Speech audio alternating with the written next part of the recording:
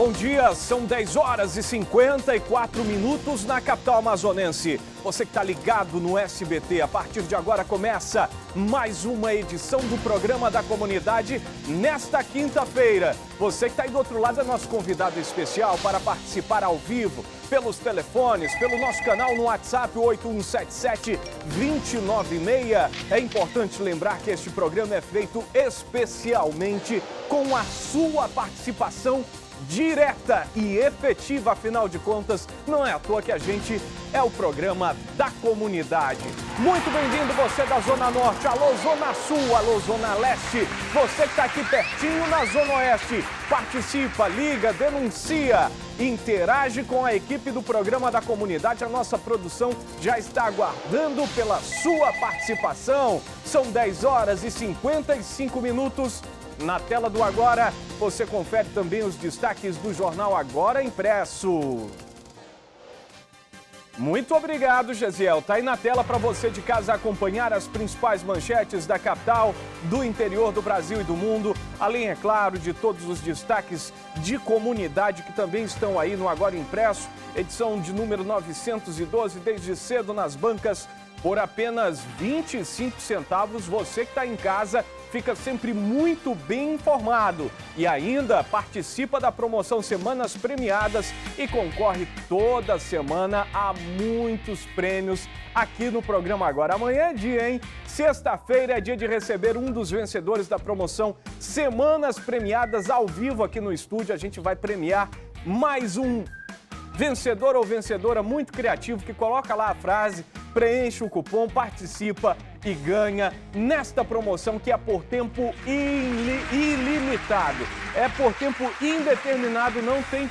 Amanhã tem entrega de prêmios, diretor não está atento ao programa. Diretor não está ouvindo o programa, acabei de falar. 10h56.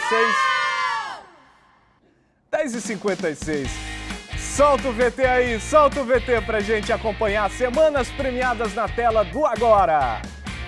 Começou mais uma grande promoção com o apoio do Agora. Semanas premiadas. Seja criativo e concorra a um super prêmio toda semana. Tem armário de cozinha, fogão, geladeira, moto e muito mais. Para participar é facinho, facinho. Recorte o cupom vindo junto com o seu jornal Agora, preencha com seus dados e responda a pergunta da semana. A resposta mais criativa leva o prêmio. Participe! Toda semana tem um prêmio diferente. Semanas premiadas. Uma promoção com o apoio do Agora.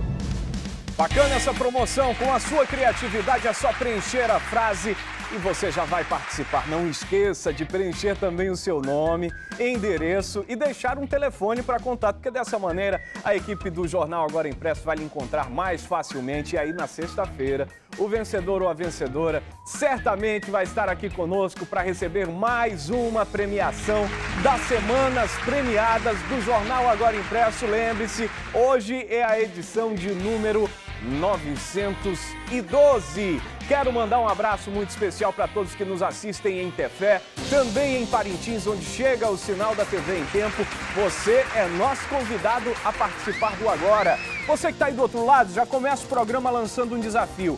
O que que tem para o almoço hoje aí na sua comunidade? O que que tem para o almoço hoje aí na sua casa? Ontem eu recebi uma foto que não deu tempo de exibir aqui no programa agora, que eu gostei muito que tava o telespectador meio assim agachado. Sabe aquela churrasqueira improvisada que a gente coloca dois tijolos de um lado, dois do outro, coloca aquela grelha de geladeira? Pois esse telespectador tava comendo pacu assado, meu amigo. Uma iguaria da nossa região. Pessoal que está assistindo agora ali na costa do Curari sabe muito bem o que é isso. Pessoal que está assistindo agora lá no Terra Nova sabe muito o que é isso. Meu amigo, é uma delícia. É muito bom, então você que está aí do outro lado, não precisa ser também o pacu assado, mas me mostre, mande uma foto para o nosso WhatsApp dizendo qual é, o que que tem no cardápio de hoje para o almoço. 8177-296 é o número, quero ver as fotografias criativas como essa aí, olha. Do Bodó Assado, que foi um oferecimento de todos os telespectadores que nos assistem e nos acompanham lá em Parintins pelo canal 22. 10 horas e 58 minutos. Os jornalistas também que acompanham o programa da comunidade, pode ser das outras emissoras, podem mandar também. A gente sabe que o pessoal está acompanhando aí, né? Mande aí sua sugestão de cardápio para o almoço de hoje. 10h59, este é o Agora, o programa da comunidade na Câmara do Juarez. Eu convido a você a acompanhar os destaques de hoje, que a gente traz para você. Começamos com violência aqui na capital. Olha essa história. Indígenas rendem uma família no Tarumã e ameaçam de morte uma criança de dois anos ficou ferida na cabeça e precisou de atendimento médico de emergência. Ao longo desta edição do Agora, nós vamos trazer os detalhes sobre este caso, que levou pânico e medo aos moradores do Tarumã, zona oeste da capital. O Agora também traz um caso de agressão. Vídeo mostra mulher batendo em adolescente no Lírio do Vale, zona centro-oeste da capital. A violência pode ter sido motivada por ciúmes e as imagens, as imagens são chocantes. O Agora também traz combate à violência sexual contra crianças e adolescentes. O Tribunal de Justiça do Amazonas inaugura vara especializada no julgamento desse tipo de caso aqui no estado. E ainda, incêndio, padaria pega fogo no São Francisco depois de falha elétrica. Funcionários e vizinhos controlaram as chamas antes da chegada do Corpo de Bombeiros. E o Agora também mostra que o descuido está entre os principais motivos de incêndio em casas aqui na capital. Tem destaque de comunidade e vem da Zona Norte. Nossa equipe mostra a situação de famílias que ainda esperam pelo abastecimento regular de água e também sofrem com a falta de infraestrutura no Cidade de Deus. Muito mais informação você liga, participa ao vivo e faz a sua denúncia. Muito mais comunidade a partir de agora na sua televisão, porque o programa agora que tem a cara da sua comunidade e que participa junto com você das mudanças. 11 horas, um minutinho, já estamos no ar.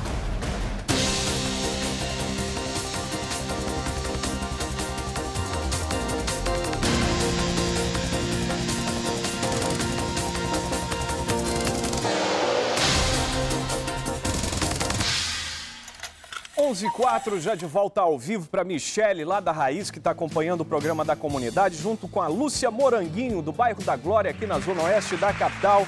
E também todo mundo que nos assiste no Lírio do Vale, Zona Centro-Oeste, a Glauciane Sena, da Compensa 2 e a Daiane também da Compensa. Obrigado a todos pela audiência. Lembra do desafio lá no WhatsApp. Quero saber o que, que tem pro almoço hoje aí, viu? Quero ver as fotos mais criativas. Pode reunir toda a família, mas não esquece de colocar o nome e o bairro. Ou o município ou comunidade rural. Manda pra gente pelo WhatsApp 8177-296, que daqui a pouco eu vou exibir aqui. 11 horas e 5 minutos. Está na hora da Márcia Lasmar trazer aquele recado especial para você que nos acompanha aí do outro lado. Márcia.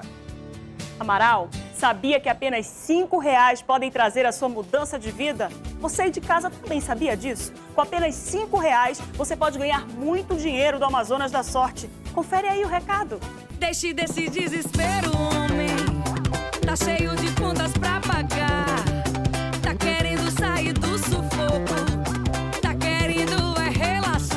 Com 100 mil reais você tem muita tranquilidade e sonhos realizados. 100 mil reais só no quarto prêmio. Comprando você cede direito de resgate à Casa Vida e Ações Sociais. 100 mil, 100 mil, 100 mil reais só no quarto prêmio. Pega e sela seu Amazonas, dá sorte, sua felicidade é aqui.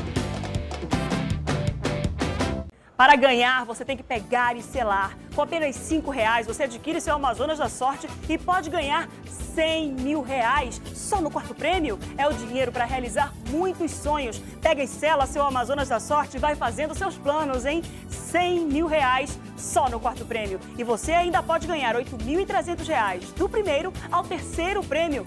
Atenção, é muito importante que ao pegar e selar o seu Amazonas da Sorte, você preencha corretamente o cupom do título. Coloque seu nome completo, número de telefone e endereço legíveis. Se você tiver qualquer dúvida quanto aos sorteios ou quer ser um vendedor do Amazonas da Sorte, entre em contato com a nossa central de atendimento. Ligue 40 20 38 71. Pegue e sela seu Amazonas da Sorte. Sua felicidade é aqui. Amaral. Obrigado, Márcia Lasmar. São 11 horas, 7 minutos na capital amazonense. O programa agora, neste momento, vai relatar um assunto muito sério. e que tem chamado a atenção de muita gente na capital. E, segundo a polícia, tem apurado pelas informações apuradas até agora, pela polícia e também pela nossa equipe de reportagens, trotes têm levado terror e medo a famílias aqui da capital. O problema começou na zona centro-oeste de Manaus, no Alvorada, e por lá se repetiu duas vezes. E aí, a Zona Norte foi a próxima, acabou sendo a próxima vítima daquilo que pode ser um trote, daquilo que pode ser uma brincadeira de muito mau gosto, realizada por pessoas que precisam ser encontradas e punidas. São 11 horas e 8 minutos em Manaus. Nós estamos falando das supostas ameaças de bomba.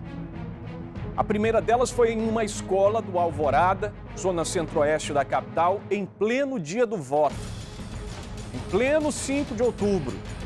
Enquanto os eleitores estavam se dirigindo para a escola com a intenção de votar, descobriu-se um artefato muito parecido com um explosivo, uma garrafa PET envolta em papel alumínio, contendo alguns fios elétricos.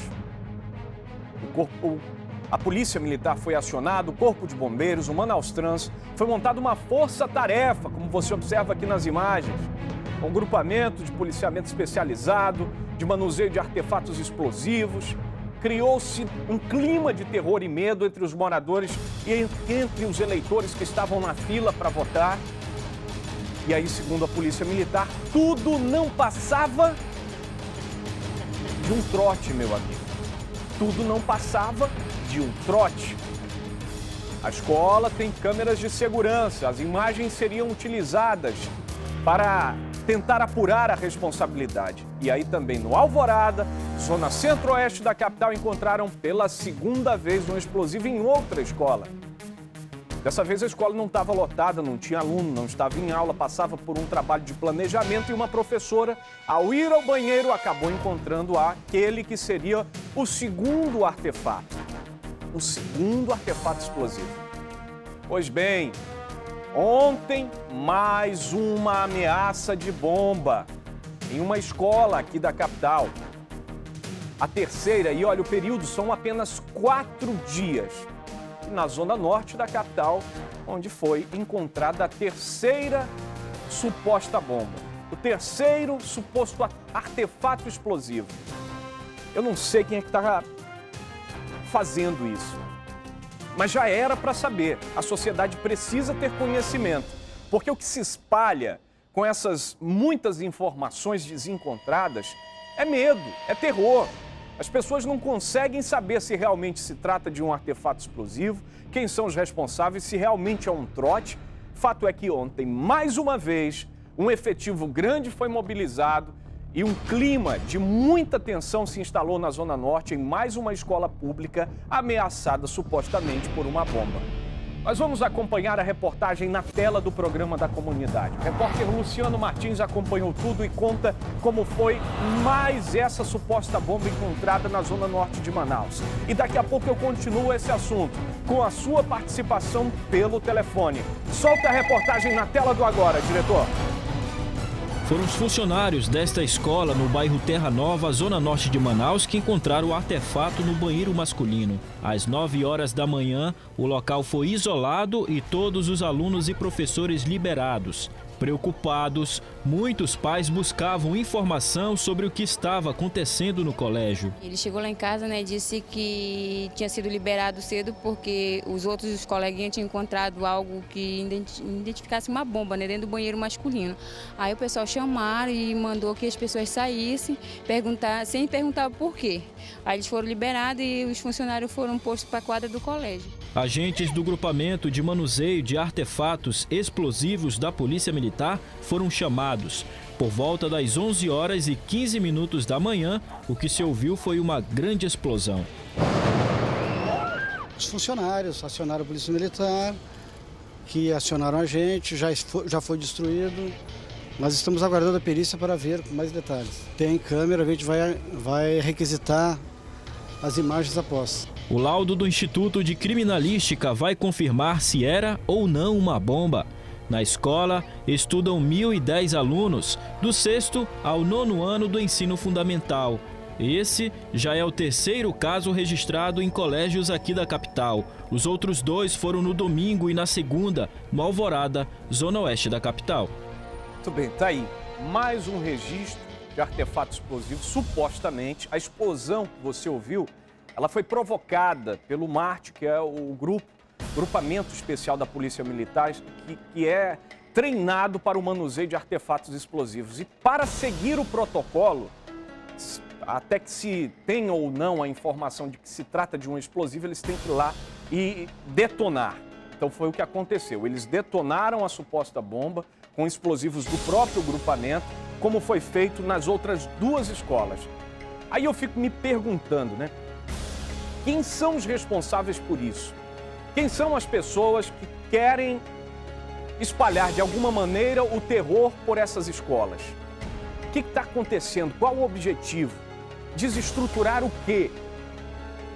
Implantando supostas bombas em ambiente escolar.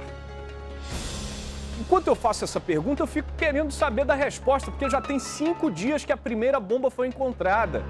E lá na escola do Alvorada também tinha câmera de segurança. Aliás, tinha uma câmera de segurança na entrada do banheiro em que o explosivo foi implantado.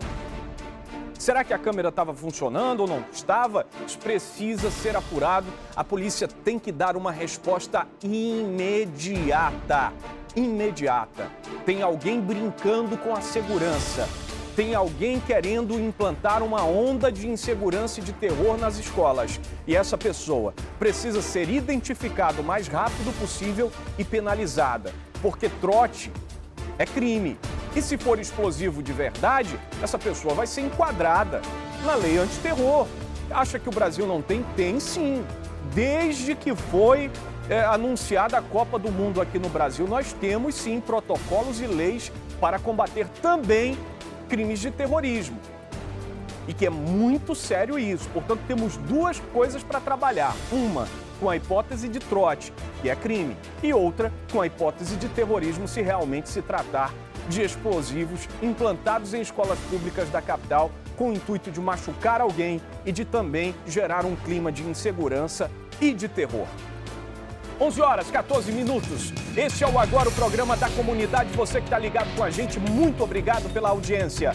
As imagens que você vai acompanhar na tela foram feitas com o uso de aparelhos celulares e mostram uma tentativa de ocupação por indígenas em uma área localizada lá no ramal do Bancrévia, próxima à comunidade Cristo Rei, no Tarumã, zona oeste da capital. Observe nas imagens índios armados com pedaços de pau, agindo com muita violência neste ramal. Essa violência vai de encontro a uma família que supostamente foi mantida refém por esses indígenas e uma criança uma criança, volta para cá, diretor, uma criança de dois anos teria sido ferida com um golpe de terçado na cabeça e precisou de atendimento médico de emergência. Essa violência que você observa aqui, registrada nas câmeras de um aparelho celular e que chegou até a produção do programa da comunidade, foi na zona oeste da capital, no Tarumã, e ela tem início em uma briga por terra, em uma briga por território, travada entre indígenas e não índios. Só que desta vez aqui, os índios agiram com muita violência, atingindo inclusive uma criança de apenas dois anos. Quatro indígenas, inclusive o cacique, aquele que liderou essa ação, acabaram sendo detidas e levados acabaram sendo detidos e levados para um distrito policial ali da zona oeste de Manaus. Observe nas imagens. A gente vê aqui a pessoa que pode ser o cacique, aquele que liderou essa ação contra essas outras pessoas. O que, que aconteceu depois disso aqui? O ramal que dá acesso à comunidade Cristo Rei foi bloqueado. As pessoas que trabalham nessa área, caseiros, agricultores familiares, ficaram com medo porque não sabiam o que estava acontecendo, não sabiam do que se tratava. Além disso, a polícia, quando chegou ao local para fazer o controle do conflito, também encontrou cartuchos de espingarda, cartuchos não deflagrados. Ou seja, a gente está falando de um confronto armado que pode se transformar em tragédia e que não se transformou quase que por um milagre, porque os índios estavam armados de terçados, de arco, flecha, com o intuito de causar prejuízo. Observe nas imagens. Tem som, tem áudio aí nessas imagens, diretor? Coloca aí na tela geral para o telespectador entender o que está acontecendo. Imagens e som do conflito. Alguém tenta apaziguar ali. Alguém tenta apaziguar, mas você observa na sequência aí, olha. Que o indígena vai e joga um pedaço de pau. Tá mandando voltar! Ei! Assim que tá mandando voltar, bora! Tá mandando voltar, tá bloqueando a passagem. Agora, o porquê dessa violência? É um conflito fundiário? É um conflito de terras? Nós tivemos dois anos atrás uma das maiores invasões registradas aqui na capital amazonense, em uma área de proteção ambiental no Tarumã, zona oeste da capital, que também gerou um conflito enorme. E agora está se repetindo, só que um conflito armado entre índios e não índios. Uma família, caseiro e quatro filhos foram mantidos reféns por esses supostos indígenas. E armados de teçados, desferiram um golpe na cabeça de uma criança de apenas dois anos. É covardia. Uma criança de dois anos não pode se defender, mas foi ferida na cabeça por um golpe de teçado. As, as, causas desse conflito ainda são apuradas e precisam ser explicadas. O trabalho da polícia agora é intensificar a ronda nessa área, porque passou a ser o ramal de acesso, o ramal do Bancrévia, que dá acesso à comunidade Cristo Rei, passou a ser uma área de conflito armado por terra. E a gente tem exemplos em todo o Brasil do resultado desse tipo de conflito entre índios e não índios. Exemplos que acabam terminando em morte. E é isso que a gente não quer que aconteça. O cacique, responsável pela liderança desses indígenas ali, acabou sendo detido com outras três pessoas, com outros três índios. Ele foi levado ao 20 Distrito Integrado de Polícia, prestou esclarecimentos e foi liberado. Agora eu fico me perguntando: será que acaba aqui? Será que termina aqui? Será que essas são as últimas imagens do conflito no Tarumã, ramal do Bancrévia? É uma preocupação que eu tenho, porque nessa área tem trabalhadores, tem famílias que não querem se envolver em conflito com ninguém. Tem pessoas que precisam ter assegurado o direito de ir e vir e que vivem agora sob ameaça direta de uma briga por terra, de uma briga de índios com não índios, pela ocupação de uma área de terra. Fico me perguntando se não é o momento do Ministério Público atuar, se não é o momento da Polícia Federal agir, porque envolve esses órgãos diretamente, diretamente, antes que uma tragédia aconteça. Porque a pessoa, volta para cá, telespectador, volta para cá, diretor. Deixa eu falar com o telespectador aqui. A pessoa que pega um terçado e desfere um golpe contra a cabeça de uma criança de dois anos é uma pessoa que pode matar a qualquer momento. A pessoa que violentamente usa de, de um golpe de terçado para ferir uma criança de dois anos pode matar qualquer um. É, um, é uma atitude de covardia. Se existe um conflito fundiário, nós temos alguém para interferir. E é a justiça que pode fazer isso.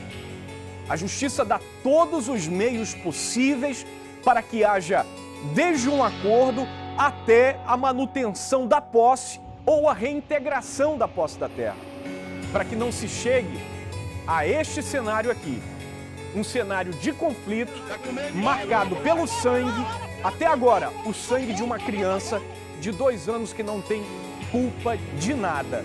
O programa agora, o programa da comunidade, vai acompanhar isso de perto, desenrolar desses fatos, que há muito interessa à população da zona oeste da capital, principalmente aos comunitários da Cristo Rei, comunidade que tem acesso por esse ramal onde o conflito aconteceu.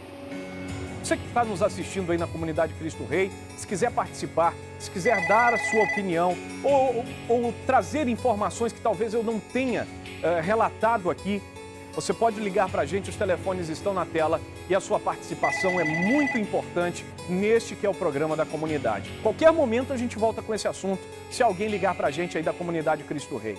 São 11 horas e 22 minutos. Vamos continuar com o programa da comunidade que vem pela frente aí, diretor.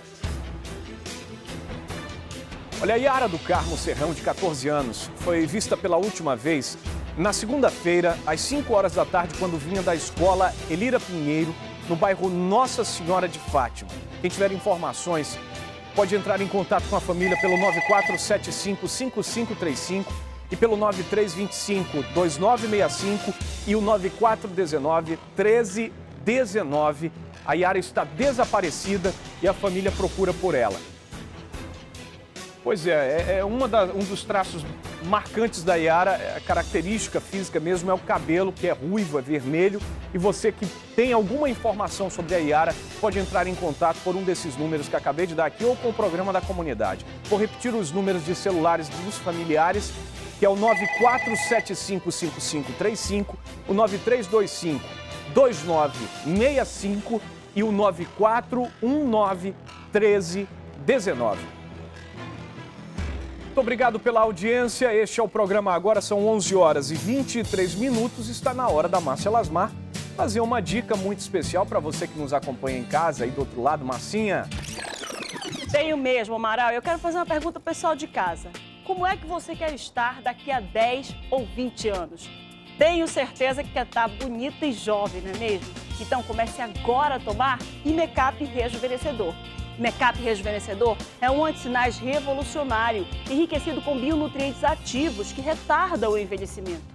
O Imecap Rejuvenescedor é muito eficaz porque age nas camadas mais profundas da pele, onde os cremes não alcançam, nutrindo e revitalizando a estrutura do tecido e assim transformando a aparência do seu rosto e Mecap Rejuvenescedor ainda possui colágeno, que aumenta a umidade dos tecidos, prevenindo a formação de rugas, deixando sua pele mais firme e com um aspecto mais jovem. Faça o tempo parar para você com o Imecap Rejuvenescedor. Imecap Rejuvenescedor, um novo conceito de beleza. Comprove que você encontra o Imecap Rejuvenescedor em todas as farmácias do Brasil e a preços promocionais nas redes de drogarias Angélica e Farmabem. Eu disse Angélica e Farmabem. Imecap Rejuvenescedor tem a garantia de qualidade Divicon Farma. Volto contigo, Amaral. Tudo bem, são 11 horas e 25 minutos. Nosso WhatsApp está recebendo centenas de fotos aqui. Pessoal tirando a foto do que tem hoje pro almoço. Eu queria que vocês tirassem também com vocês aparecendo, viu? Ia ficar legal, com o prato, a comida ali. Bota, faz aquela selfie bacana com você também aparecendo, coloca o nome e o bairro, por favor. Nome e bairro que é pra gente ter uma noção aqui de onde é e também mandar aquele abraço especial pro seu bairro e pra sua comunidade. Tá chegando muita foto aqui, daqui a pouco a gente mostra. São 11 horas e 25 minutos. Daqui a pouco, depois do intervalo, o programa agora traz os resultados do ciúme. A violência gratuita de uma mulher, motivada pelo ciúme que chega a agredir mas uma agressão terrível contra uma adolescente. Coloca as imagens na tela, diretor.